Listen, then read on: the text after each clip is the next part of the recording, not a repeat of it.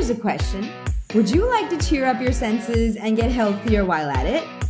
If your answer is a resounding yes, then have we got the coolest hack for you?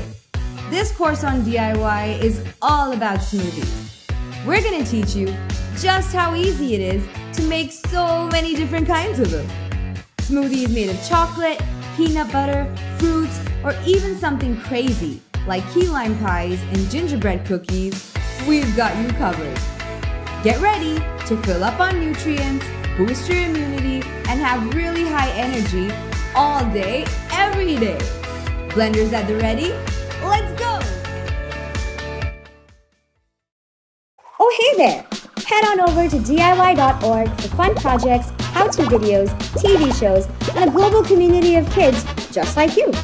Okay, bye!